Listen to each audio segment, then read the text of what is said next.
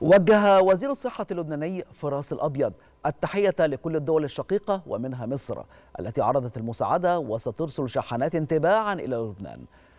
كشف وزير الصحة اللبناني عن استقبال بيروت أول شحنة مساعدات عراقية تصل إلى لبنان بعد تفجيرات الأجهزة الاتصال اللاسلكية.